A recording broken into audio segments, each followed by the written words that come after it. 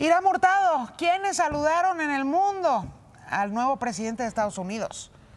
Hola Yuri, ¿qué tal? ¿Cómo están? Excelente tarde. Pues sí, con muchas felicitaciones. Justin Trudeau fue uno de los primeros en desear una buena relación con el nuevo gobierno de Estados Unidos. En Twitter afirmó que espera continuar el trabajo bilateral, así el primer ministro de Canadá. Mientras tanto, Emmanuel Macron aseguró que Francia y Estados Unidos serán más fuertes para enfrentar los desafíos actuales. Pero no fueron los únicos. También Boris Johnson declaró que desea trabajar en colaboración con el demócrata, el primer ministro inglés. Mientras tanto, y por su parte, el presidente de España, el director de la Organización Mundial de la Salud y hasta Juan Guaidó también enviaron felicitaciones al mandatario estadounidense. Y es que hay que recordar que para Joe Biden, el presidente de Venezuela será Juan Guaidó. Pero vamos a regresar contigo, Yuri. Más adelante tenemos más información de lo que ocurrió hoy en Washington.